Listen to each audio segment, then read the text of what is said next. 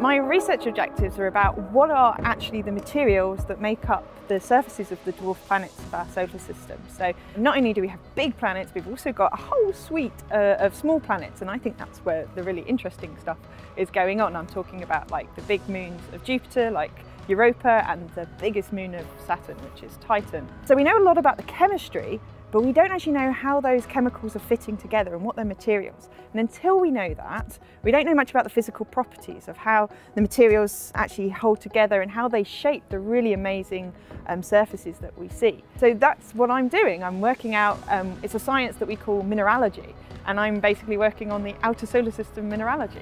There's still loads of questions about how different planets form, like Earth, for instance, is a terrestrial planet, so it's a rocky planet. So if we know more about that, we know a lot more about how we um, actually started and evolved as a planet.